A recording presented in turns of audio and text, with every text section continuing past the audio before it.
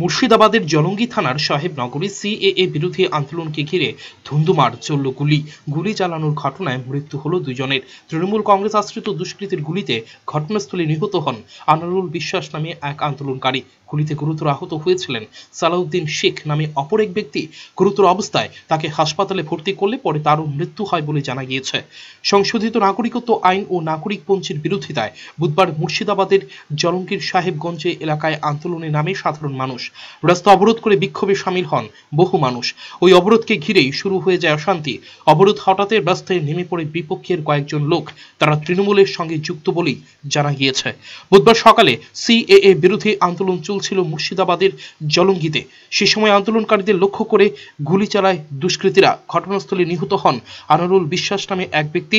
এদিনের গুলি চালানোর ঘটনার জন্য তৃণমূল কংগ্রেস দায়ী বলছেন স্থানীয় মানুষ। তাদের অভিযোগ, তৃণমূল কংগ্রেস সভাপতি তহিরুদ্দিন মণ্ডলের নেতৃত্বে এই সিএএ বিরোধী আন্দোলনে গুলি চলেছে। গুলি চালানোর ঘটনায় যথেষ্ট ক্ষুব্ধ হয় এলাকার মানুষ। খবর পেয়ে ঘটনাস্থলে পৌঁছায় বিশাল পুলিশ বাহিনী। ব্যুরো রিপোর্ট, চ্যানেল তিন